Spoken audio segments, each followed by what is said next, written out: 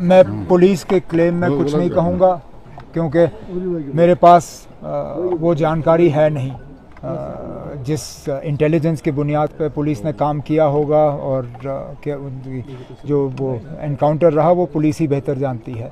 तो मैं उस पर कुछ नहीं कहूँगा, लेकिन जहाँ तक यहाँ आए तो अफसोस का इजहार करने के लिए गम का इजहार करने के लिए इस तरह जो टारगेटेड इनोसेंट लोगों को जो मारने का सिलसिला लगातार चलता आ रहा है उससे हम सब परेशान हैं।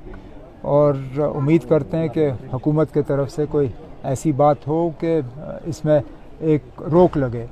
क्योंकि कहने के लिए तो ये कहते हैं कि सारा कुछ नॉर्मल है, लेकिन कहाँ नॉर्मल अगर घर बैठे बैठे किसी औरत को बाहर बुलाया जाए और उसको गोलियों से शिकार किया जाए उसके साथ छोटे बच्चे को जख्म किया, ज़ख्मी किया जाए। दो दिन पहले इसी तरह का हादसा हमारे एक ऑफ़ ड्यूटी पुलिस के जो जूनियर अफसर थे, उनके साथ हुआ। तो ये सिलसिला थम नहीं रहा है। हाँ हर ऐसे टारगेटेड किलिंग के बाद पुलिस के तरफ़ से ज़रूर बयान आता है कि जिन्होंने वो किया, उनको जो है मार दिया गया। लेकिन सिलसिला रुक नहीं रहा है। रोकने के लिए क्या किया जाना चाहिए इस पर हुकूमत को गौर करना होगा। सर आपको लगता है सिचुएशन बेहतर हो रही है जैसे कि दावे किए जाते हैं लेकिन अब अगर सिचुएशन बेहतर हो लेकिन अब आप टूरिज़्म को इन चीज़ों से क्यों मिलाते हो? क्या इससे पहले टूरिस्ट नहीं आए? लगातार छियानवे से पहले टूरिस्ट वापस आना शुरू हो गए। मुझे आज याद है जहाँ 1995 में इलेक्शन से पहले बम्बई से वो राजा रानी टूर्स वाले थे। उन्होंने ग्रुप्स को वापस लाना शुरू किया था।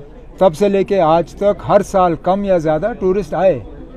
मेरे जब मेरी हुकूमत थी, तब क्या 2012 में टूरिस्ट नहीं आए?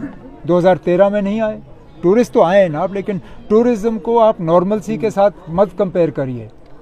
नॉर्मल सी तब होगी जब बिना खौफ के हम यहाँ अपनी ज़िंदगी बिता सकें।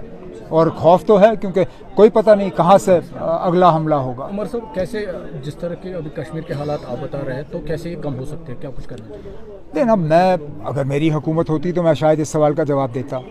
मैं हुकूमत में नहीं बैठा हूँ ना मैं नॉर्मलसी के दावे कर रहा हूँ। ये सवाल आपको उन लोगों से करना चाहिए जिन्होंने यहाँ जम्मू कश्मीर की हालत यहाँ तक पहुँचाई। और जो दावे करते हैं कि सारा सिचुएशन जो है नॉर्मल है। हम तो बहुत पहले से कहते आ रहे हैं ना आपकी सिचुएशन नॉर्मल नहीं है।